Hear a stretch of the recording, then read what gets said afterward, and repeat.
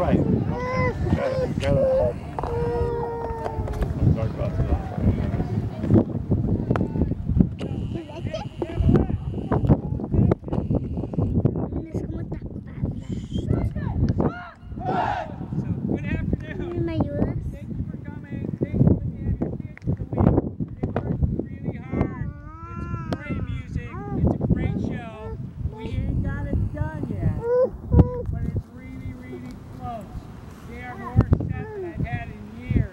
Get it.